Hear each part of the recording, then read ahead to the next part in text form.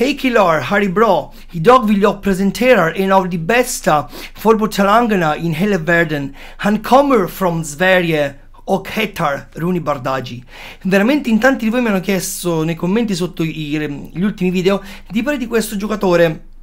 appunto Runi Bardagi, classe 2005 del Copenaghen, anzi novembre 2005, quindi quasi un 2006. Però prima di andare alla nostra questione mi raccomando lasciate un like al video, iscrivetevi al canale, attivate la campanella di notifiche per rimanere sempre aggiornati appunto sulle news, ma soprattutto mettete tanti piace, iscrivetevi perché veramente tantissimi di voi in primis mi hanno chiesto il giocatore e tantissimi altrettanti di voi vedono i miei video ma non sono iscritti al canale quindi perché non mettere una campanellina e cliccare sull'iscriviti per neanche sprecare tempo a cercare i miei video,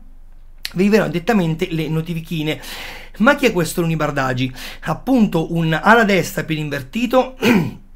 eh, classe 2005, eh, svedese, di nazionalità svedese, anche se lui comunque di seconda nazionalità è siriano. Il, um, nel 2020, nel luglio 2020, il Copenaghen, o meglio l'FC Copenhagen, l'ha eh, acquistato dal Malmö FF, eh, giocava nella formazione under 17 sotto età. Dopo la, eh, i danesi l'hanno aggregato alla formazione under 19 eh, ma ufficialmente dal Genoa 2022 è stato totalmente spostato nella prima squadra. come vi dicevo, una destra più invertito, 182 cm per lui, che dal 2021 è anche colonna portante della della nazionale, scusate, under 17 della Svezia, con la quale ha già giocato 6 partite, segnando 5 gol, non male assolutamente. Un, una destra appunto più invertito che a volte ha giocato anche eh, come trequartista eh, nel Copenaghen che comunque eh, attua due modi, diciamo il 4-4-2 e il 4-3-1 e lui eh, pressoché è stato impegnato eh, solitamente nel ruolo appunto di ala destra più invertito. Un giocatore ben messo fisi- fisicamente, 182 cm, quindi ben sviluppato, ben diciamo di una costituzione fisica ben delineata nonostante la giovane età, ma soprattutto è molto interessante ovviamente sul campo. Quindi un, un, veramente un gran bel mancino, un, già una discreta eh, confidenza in colpi deboli, quindi col destro. Eh, gli piace molto giocare un po' più accentrato sul campo, grande velocità, eh, grande prote- ottima protezione palla, eh, salta sempre il primo, eh, il primo avversario, quindi un giocatore molto utile a creare superiorità numerica in fase avanzata, in fase offensiva, scusate salta al primo pressing, mm, ottimo controllo di palla, ottima tecnica di base, ottimi tempi di gioco, soprattutto negli inserimenti e nel passaggio. Eh, in area si sa muovere anche molto bene, giustamente con la, forma- con la prima squadra del Copenaghen si deve ancora più che altro non dico ambientare ma prendere confidenza perché comunque il suo minutaggio ancora non è proprio altissimo. Diversa situazione è con la nazionale svedese under 17 dove ha giocato molto di più dove è una colonna portante quindi eh, se nell'under 17 svedese ha comunque un feeling con il gol e sa e può mostrare totalmente le sue capacità giustamente col Copenaghen ci vorrà un po' più di tempo, anche perché con gli under 17, con nell'under 17 ovviamente più, più, o meno con i parità, mentre magari nella prima squadra deve combattere magari con giocatori un po' più esperti, come già un Böving ad esempio che comunque un 2003, eh, con, eh, prima aveva comunque un Jonas Vin dietro che comunque è un attaccante, un giocatore offensivo, eh, prima che passasse al Wolfsburg ovviamente, però comunque deve ancora imporsi in prima squadra, veramente un giocatore tanto interessante. Veloce, intelligente tatticamente, sa proteggere palla in modo ottimale, ottimo di gioco, è a quella sana spregiudicatezza che a volte lo porta un attimino a eccedere, eh, magari nel portare palla o cercare magari l'uno contro uno in modo, non dico compulsivo, ma un po' più reiterato. Ovviamente può crescere ragazzi, è un 2005, quindi capite bene che un 2005 che già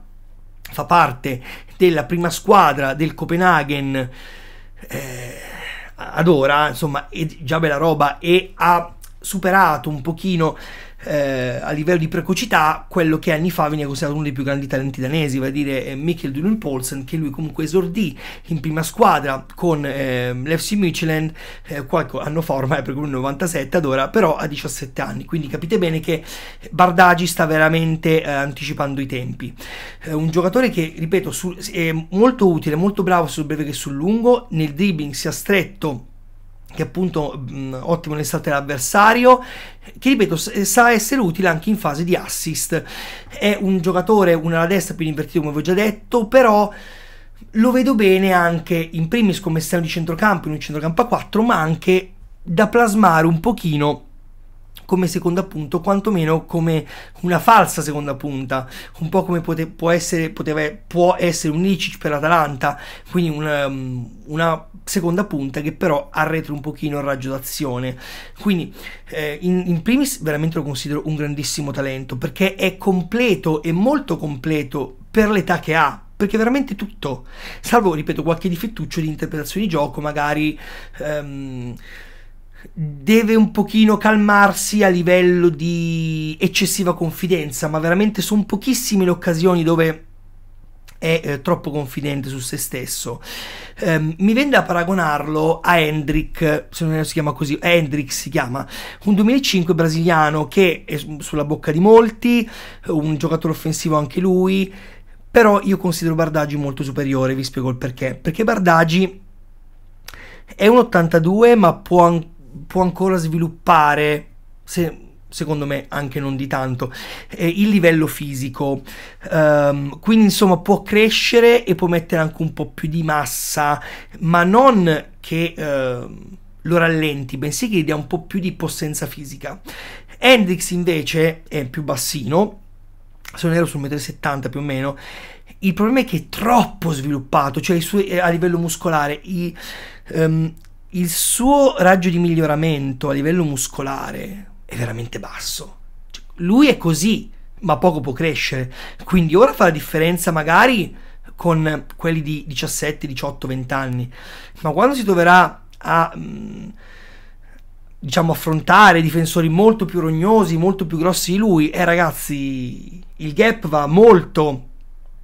a eh, appiattirsi, mentre Bardagi, ripeto, ha dei, dei margini di sviluppo veramente alti. Ehm,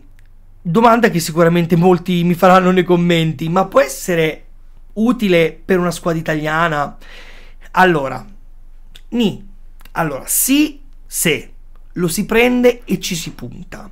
Se però si prende un giocatore del 2005, quasi 2006, per poi dire, eh, vabbè, ma è giovane, deve crescere, lo si sbatte in primavera, Ragazzi, no, perché lo si perde e non è che si arresta il suo processo di crescita, bensì lo si depotenzia. Quindi, sì, può essere utile eh, per le scuole italiane, magari partendo eh, da squadre come Lazio Fiorentina, ehm, perché magari lì ha un po' più chance di giocare. E spero anche a Lazio faccia giocare un po' più Luca Romero, però vabbè. Pensieri miei, eh, però, ripeto, devono puntarci, quindi o lo prendi e lo aggreghi alla prima squadra e gli fai fare 10, 15, 20 partite l'anno, anche da subentrato, ma se devi prenderlo come ha fatto Lazio con Luca Romero e poi lo fa allenare con i grandi, ovvio, un periodo di adattamento ci deve stare, ma che non sia lunghissimo, 6 mesi, 7 mesi ma massimo una stagione, ma comunque quelle 10-15 partite anche da subentrato devi fargli giocare per fargli prendere confidenza appunto con, con il campo, con la prima squadra e con il calcio italiano. Ovviamente fatemi sapere qui sotto nei commenti se conoscete il giocatore, eh, se vi piacerebbe averlo, se magari volete avere un po' più di, di delucidazioni. Però, ecco, spero che il video vi sia stato utile appunto per capire chi è questo Rooney Bardagi, svedese, classe 2005, quasi 2006. Se il video vi è stato utile e vi è piaciuto, ovviamente lasciate un like al video, iscrivetevi al canale soprattutto e attivate ancora soprattutto di più la campanellina delle notifiche per rimanere sempre aggiornati sulle news. Vi mando un abbraccione e ci vediamo al prossimo video. Ciao ragazzi!